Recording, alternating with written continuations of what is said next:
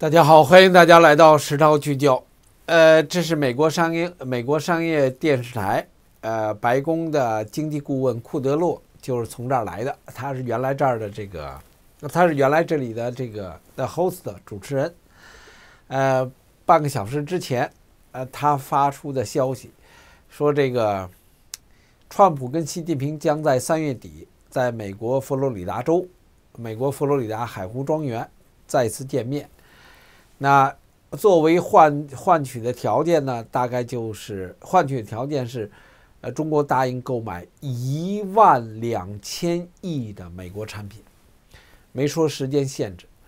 然后另外一个条件，另外一个说法就是有关有关结构性改革，呃，偷抢骗的问题，中共偷抢骗的问题，没有任何实质性呃增长，没有任何实质性承诺，实质性改变。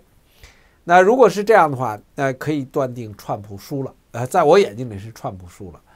呃，川普输了一万两千亿的说法不是，这不是新的，这是在十二月一号就已经出现的。咱去年十二月一号他已经承诺过一万两千亿，所以这个东西就变成了一个炒冷饭。结构性改变说明触及到中共政权本身的一个生存的问题。所以他绝不能承诺。那如果结构性改变没有承诺、没有没有结果的话，呃，那贸易谈判就是川普展开的贸易战就失败了。如果他不去加码的话，就失败了。呃，单纯一万两千亿购买美国产品，美国没有那么多的产品供他购买，美国没有那么多的东西供中国这么购买。如果去封掉有关高科技产品相关的产品技术的话，从国家安全角度来讲，那所以这就是我们看到，就是在我眼睛里，我们看到几乎这就变成了不可能，啊，不可能。呃，川普为什么这么做？如果这个消息最后落实是真的，川普为什么这么做？啊，出于国内的压力也好，出于经济本身的压力也好，因为在整个我个人看他的电看这部分内容的时候。他几乎所有金融专家和华尔街的人，把他都称现在中国现在世界经济出现缓慢啊，世界经济出现衰退出现缓慢，那原因跟贸易战有直接关系。那也就想习近平呃，川普想保持在某一个程度的压力之下的持续的贸易战，呃，如果它延缓最后期限的话，是延缓呃关税利率。上涨到百分之二十五，并没有撤销关税，所以那关税的就是每个月的，呃，它的关税的收益本身依然还存在，但是呢，对中共的打击力度呢，中共有能力去抗衡百分之十的贸易关税。那从这点上说，当然，川普依然还持持于胜面，但从另外一点上，很显然，习近平要的是时间。非常显然，习近平再次要时间，在对等的背景之下，你可以看到华为的全力以赴的冲击，就是华为本身在欧洲市场，在欧洲市场全力以赴的去对抗美国，而这一份的对抗却来自于中共政权的最强有力的支持。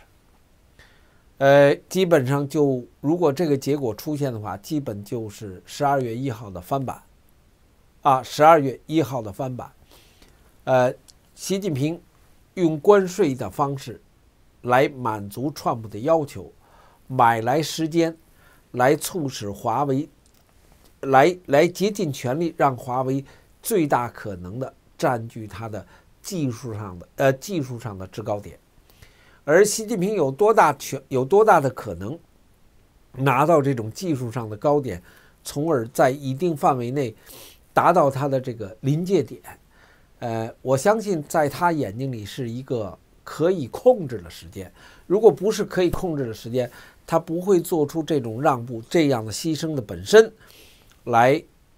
为华为争取时间。这是第二、第三。他现在的这个 deal 如果拿到的话，就是说。只要川普不去，呃，只要川普延长，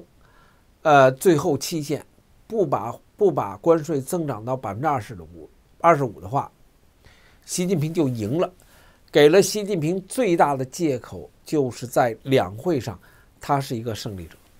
啊，这是习近平真正争取的内容。所以我说是川普输了，习近平赢了。至于过了到了峰会后面，到了到了后面的峰会再怎么谈，那是另外一回事儿。习近平要解决的是两会前的对他的巨大压力。呃，川西峰会，下次川川西峰会三月底，那而中国承诺呢购买一万两千亿的美国产品，这个没有任何其他改变。这是 C C N B C 刚才从白宫发出来消息，这是他在现场的记者。那会见地点呢在海湖庄园。啊，海湖庄园，所以很显然，这个时间，这个时间应该是两会之后啊，两会之后。呃，美国跟中国正在商量在川西峰会，呃，最后的川西峰会在在在这个呃海湖庄园。那根据呢熟悉会谈的一个熟悉会谈的消息来源。呃，另外呢，就是呃，购买一万两千吨产品，啊，购买购买一万两千吨产品，但是有关知识产权、有关强迫转让技术跟知识产权双方的分歧依然巨大，保持着巨大分歧，没有任何解决。呃，会面的地点在海湖庄园，啊，会面地点在海湖庄园，这就是我们看到的。呃，基本上它梗概出来内容就是这些，呃，这是不到一个小时之前发出来的消息，呃，半个小时之前刚刚更新的，呃，现在在进行谈判，这是他讲的进行的谈判。那目前能够谈到的，就是目前能够谈到的主要的目标，就是在中国需要进行结构性改变，啊。呃，结构性改变，呃，这是在贸易谈判中必须坚持的。那这段引述的是白宫在这个星期在谈判前开始前的声明中提到的，啊，声明中提到，所以这些都是旧的了。我们刚才谈到那是新的内容。那美国贸易代表作为主谈官，呃，他主要的就是强迫中国能够接受真正落实知识产权保护的问题，啊。呃，一会儿川普应该见刘鹤，看起来应该是同样的时间，要晚上四点半，很可能。那而这个刘鹤呢，获得刘鹤是作为习近平的特使，意味着他有全权权力来直接跟美国进行贸易谈判。呃，我觉得真正的全权权力就是说，他要拿出一个结果。所以现在看到的消息是刘和拿到了一个结果。拿到了一个结果，所以他的结果应该是迫使川普放弃这个最后期限，这就是他的胜利。呃，川普跟习近平有可能在啊啊，川普跟习近平整个过程，呃，整个过程是在这个